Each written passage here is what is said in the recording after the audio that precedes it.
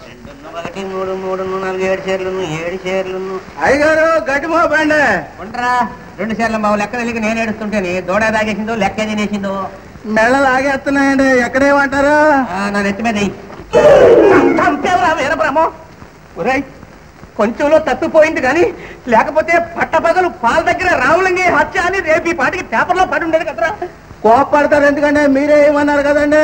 ఏమంటే నెత్తి మీద వేస్తావరా? ఎక్కువ వేస్తాం డబ్బులు ఇచ్చేయండి వెళ్ళిపోతాను ఏం డబ్బులు? ఏం డబ్బులు అంటారంటే గట్టికే. గడ్డ దేవుడు మొలిపించే గడ్డికి డబ్బు మొలిపించిన దానికి కాదండి కూలండి కోచినందుకు. కూలి ఎంత అయితే ఎంత అంటే పోయిన అమాస దగ్గర నుంచి ఈ అమాస దాకా ముప్పై మోపులకి ముప్పై రూపాయలండి ఆహా.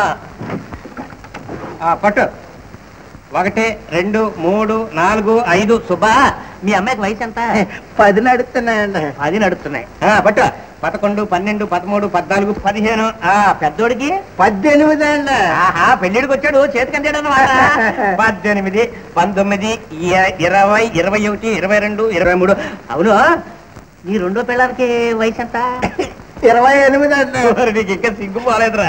పడుతానే పట్టావు ఇరవై ఎనిమిది ఇరవై తొమ్మిది ముప్పై ముప్పై ఒకటి రూపాయి కూర్చొని పట్టుకెళ్ళి. ఆ? వస్తానండి బాబా. చిన్నగా ఇంటికి పట్టుకెళ్ళు. పెళ్ళాలు పిల్లలు కలవడు ఆ పిల్లలు గడిపిందా రామలింగ గారు మా అయ్యగారు డబ్బు ఇచ్చారు బిల్లు కట్టమని. పాల బిల్లు ఎంత?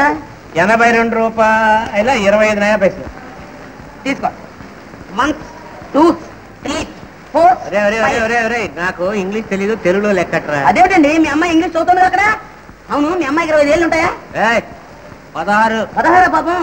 పదిహేడు పద్దెనిమిది పంతొమ్మిది ఇరవై ఇరవై ఒకటి. ఏమండి పాపం? మీకు బాగా ఆస్తి ఉండేదిగా చితికిపోయి పాల బిజినెస్ పెట్టుకున్నారట. అబ్బా ఆ పోయిన ఎందుకయ్యా జ్ఞాపకం చేస్తావు? యాభై ఎకరాల కొండ్ర. యాభై ఎకరాలు కొండ్రా? మా తాత కూడా లేదు.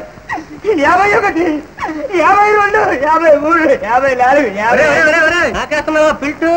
నువ్వు వాడికి వేయగలేని పిల్టు నేను నీకు వేస్తే వచ్చిన బెల్ట్ ఇలా మర్యాదగా రే సుబ్బులు నీకు పదిహేను రూపాయలు మోసం చేశాడు రే. అయ్యి బాబోయ్ నన్నే మోసం చేశాడన్నమాట. ఏం బతికయా ఒరే ఊస్తే ఊసావు కానీ బయట ఎక్కడ వరకు వెళ్ళు. నయం ముఖం మీద ఉమ్మే లేదు. యాదయ్యా నీతో పెద్ద బాధ అయ్యా ఏడవక ఏడవక. ఏడిచిన వాళ్ళు ఎవరు కూడా పైకి రాలేదు. ప్రపంచంలో తాడి తన్ని వాడు ఒకడు ఉంటే తల తన్ని వాడు ఇంకోటి ఉంటాడు. మర్యాదగా బిజినెస్ చేసుకో ఇదిగో లెక్క లెక్క లెక్క లెక్క. అబ్బా తెల్లవారి ఎవరి మొహం చూసాను కానీ అనుకున్నది ఒక్కడ జరగలేదు కదా వీర చుట్టాలు కూడా పంచుతున్నావా బ్రహ్మం?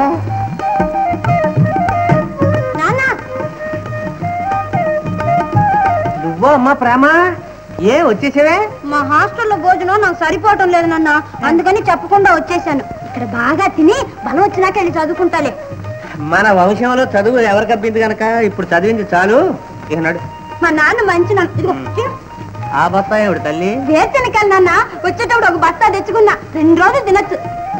వీర బ్రహ్మం బస్తా ఏరుశెలక్కాయలు రెండు రోజుల. ఈ ఏనుగు పిల్ల అయి పుట్టవలసింది నా పిల్ల అయి పుట్టింది. ఎలా మేపుతాను